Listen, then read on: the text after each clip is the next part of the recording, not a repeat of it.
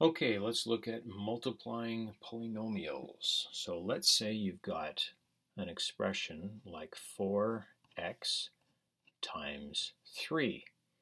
It probably wouldn't be written like this. It might be written more like 4x times 3. So it makes it confusing if you've got the x as a variable right next to the multiplication sign. So let's say we've got something like this.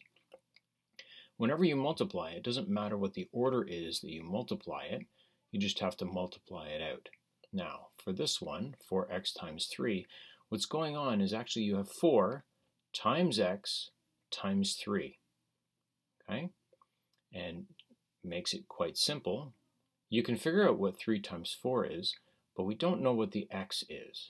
So let's write that out. We're going to do 3 times 4 times x.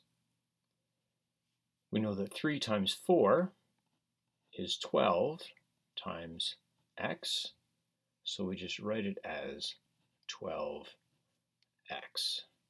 So 4x times 3, you just take the actual numbers that you know and multiply them together, and you leave the, uh, the variable alone.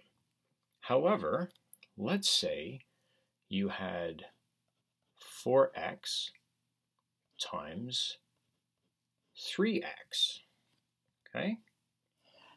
Changes things a little bit because now you have 4 times x times 3 times x.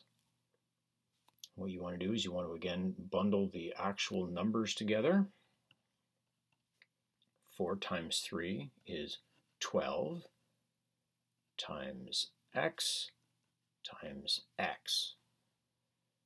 Well, an easier way to write that instead of 12 times x times x, or just put them in brackets, is we have two x's that we're multiplying together, and so we do x squared.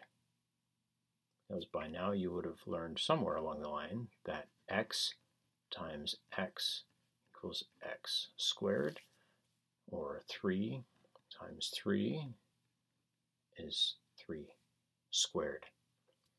So 4x times 3x, we break it apart into the different parts that it has, and then we simplify it by going with the numbers first and then the variable second to end up with our final answer of 12x squared.